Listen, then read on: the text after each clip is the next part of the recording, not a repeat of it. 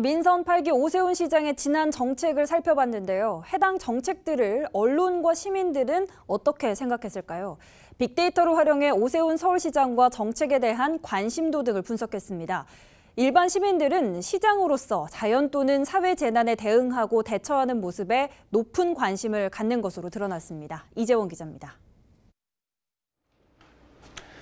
보트를 사용하는 일반인들은 오세훈 서울시장이 지난 1년 동안 어떤 지점에서 반응했을까요? 검색량 분석 서비스를 통해 오세훈 서울시장의 검색량을 살펴봤습니다. 화면 보시죠. 보시는 것처럼 크게 세 군데에서 높은 검색량을 기록했습니다.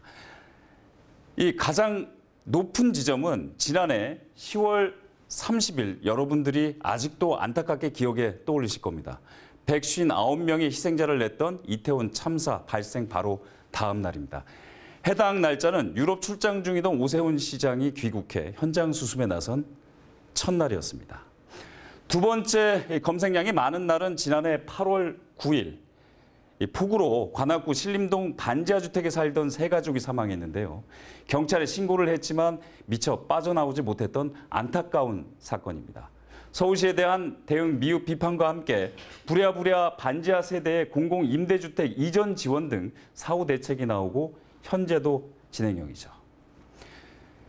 3위는 북한 발사체로 서울시가 경계 경보를 미급 재난 문자로 발송했던 지난 5월 31일 출근길에 많은 시민들이 혼란에 빠졌습니다. 급기야 예정에도 없던 기자회견을 하면서 오세훈 서울시장은 과잉 대응은 맞지만 오발령은 아니다라고 말하기도 했습니다. 이 세 가지 사례 모두 자연 사회 재난에 서울시장이 어떻게 대처했는지에 대해 시민들의 관심이 높았던 것을 알 수 있습니다.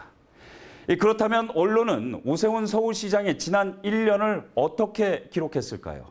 한국 언론진흥재단에서 운영하고 있는 빅카인즈는 국내 54개 언론사 기사의 빅데이터를 분석하는 서비스입니다. 이 빅카인즈를 통해 오세훈 서울시장을 검색하면 보시는 것처럼 지난 1월 2일 전국 장애인 차별 철폐 연합회가 지하철에서 시위를 시작한 날이 검색량이 가장 많습니다. 두 번째는 아까 말씀드린 폭우 피해가 있던 시점입니다. 이 세 번째와 네 번째는 서울시장과 전장현의 면담 시위 재개 날입니다. 그만큼 1년간 서울시장과 전장현의 갈등을 다룬 기사가 많다는 겁니다. 시민이든 언론이든 오세훈 서울시장에 크게 반응했던 것은 대규모 프로젝트나 정책보다는 위기 대응이나 사회적 약자를 대하는 태도였습니다. 어, 팬데믹 이후에 여러 가지 안전재난에 대한 걱정거리도 굉장히 많은 게 어, 서울 시민들의 지금 마음가짐인데요. 어, 따라서 이런 그 어떤 안전에 관계된 거나 재난에 관계된 일이 있을 때마다 굉장히 불안하고 어, 서울시장이 어떻게 대치하는지에 대한 관심들이 굉장히 큰 측면이 하나 있을 수 있고요. 또 정치적으로 반대쪽에 있는 시민들 입장에서는 어, 이것들을 과거에 실수했던 것들에 대한 기억들을 지우지 않고 계속 실수할 것이다라고 하는 것 때문에 좀 더 네거티브한 관심을 가질 수도 있겠다 이렇게 보고 있습니다. 오세훈 서울시장과 이태원 참사의 연관어를 분석해봤습니다. 이태원 참사 유가족 측이라는 단어가 눈에 띕니다.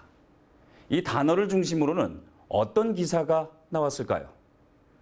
관련 기사는 대부분 지난 2월 21일 시의회 시정 질문에서 오세훈 시장이 자진 철거 입장을 밝힌 내용입니다. 오 시장과 재개발, 재건축도 연관 분석해 봤습니다. 이렇게 신속 통합기획이라는 단어가 가장 크게 나타났습니다. 신속 통합기획이란 서울시가 정비계획 수립 단계에서 가이드라인을 제시해 절차를 간소화하는 제도입니다. 이와 함께 신속 통합기획으로 초고층 재개발이 진행되고 있는 자치구와 또 해당 지역이 많이 거론된 것을 알 수 있습니다. 특이한 것은 재개발이 진행되는 지역이 과거와 대비되면서 고 박원순 서울시장의 언급이 많다는 겁니다. 오세훈 시장의 Great 한강 프로젝트와 관련해서는 제2세종문화회관과 서울항이 조성되는 여의도의 언급량이 많았습니다. BTV 뉴스 이재원입니다.